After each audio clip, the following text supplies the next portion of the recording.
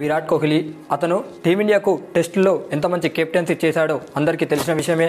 అయితే ఈ మధ్య కాలంలో టెస్టు కెప్టెన్సీ నుంచి కూడా విరాట్ కోహ్లీ తప్పుకున్న సంగతి తెలిసిందే.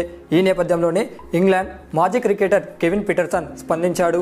విరాట్ కోహ్లీ టెస్ట్ కెప్టెన్సీ నుంచి తప్పుకోవడం నన్నేమో ఆశ్చర్యపరచలేదని అతను అన్నాడు. ఎందుకంటే విరాట్ కోహ్లీ చాలా కాలంగా బయో బబుల్లో ఉంటున్నాడు. అది విరాట్ కోహ్లీకి నచ్చడం లేదని అలాంటి టైంలోనే విరాట్ కోహ్లీ టెస్ట్ క్యాప్టెన్సీ నుంచి తప్పుకుంటున్నట్టుగా అతను ప్రకటించడం జరిగింది. అయితే ఇప్పుడు టెస్టుకు టీమిండియా తరపున ఉన్న ఇద్దరు ప్లేయర్స్ మాత్రమే కెప్టెన్స్గా అర్హులు. ఒకటి ఫస్ట్గా నేను చెప్పమంటే హిట్ మ్యాన్ రోహిత్ శర్మ అని అతను అన్నాడు. ఎందుకంటే విరాట్ కోహ్లీ లాగానే రోహిత్ శర్మ కూడా మంచి ఎక్స్పీరియన్స్ ఉందని ఐపీఎల్లో ముంబై ఇండియన్స్ను అద్భుతంగా నడిపించాడని అతను అన్నాడు. దీన్ని బట్టి రోహిత్ శర్మని కెప్టెన్స్గా ఎంచుకోమని నేను చెప్తాను సెకండ్ ఆప్షన్గా కేఎల్ రాహుల్ అయితేనే సరిపోతాడు. అయితే రిషబ్ పంత్ మాత్రం టెస్ట్లోకి అవసరం లేదని వన్డేకు మాత్రమే ఓకే అని కెవిన్ పీటర్ కెవిన్ పీటర్సన్ స్పందించాడు. చూడాలి మరి బీసీసీఐ టీమిండియా టెస్ట్ కెప్టెన్గా ఎవరిని ఎంచుకుంటుందో.